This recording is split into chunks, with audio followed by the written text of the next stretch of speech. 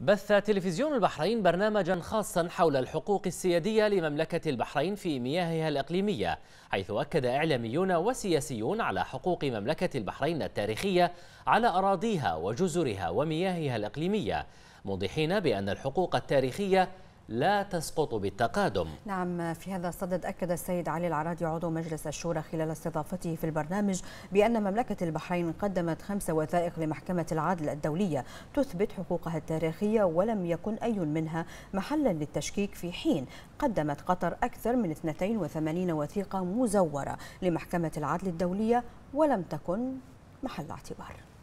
يعني مثلا البحرين قدمت خمس وثائق وكانت هذه الوثائق معتمدة.